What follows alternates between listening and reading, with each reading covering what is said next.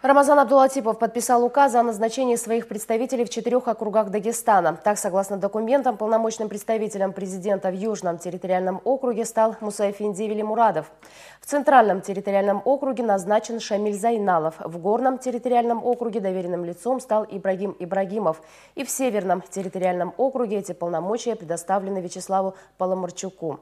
Стоит отметить, что Велимурадов и Паламарчук одновременно исполняют обязанности глав муниципалитетов. Ибрагимов занимает должность заместителя начальника ФСКН России по Дагестану. И Зейналов с 2011 года является депутатом Народного собрания республики.